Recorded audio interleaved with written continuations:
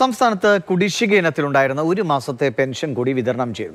Pension വിതരണത്തിനായി തൊള്ളായിരം കോടി രൂപയാണ് അനുവദിച്ചത്. പെൻഷൻ ബുധനാഴ്ച മുതൽ വിതരണം ചെയ്യും. ആറ് മാസത്തെ പെൻഷൻ കുടിശ്ശികയാണ് നിലവിൽ ഉള്ളത്.